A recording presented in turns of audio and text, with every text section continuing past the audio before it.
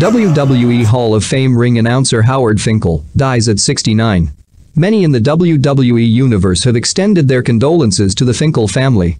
WWE ring announcer Howard Finkel, the corporation's first and longest-serving employee who was known to many adoring fans as the Fink, died on Thursday, the WWE has confirmed. He was 69. When considering the greatest ring announcers in the history of sports and sports entertainment, you'd be hard-pressed to name one better than Howard Finkel. WWE's statement reads. WWE extends its condolences to Finkel's family, friends and fans. The Newark NJ native had been with the WWE, then known as the WWWF, since his debut in 1977.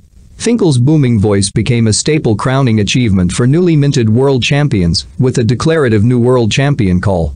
He stood toe-to-toe with many of WWE's biggest stars, including Hulk Hogan, Dwayne The Rock Johnson and Stone Cold Steve Austin.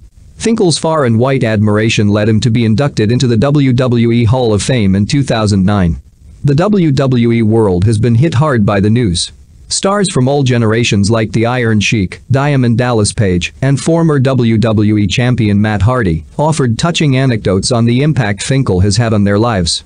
Saddened about the passing of my friend and colleague, Howard the Fink Finkel.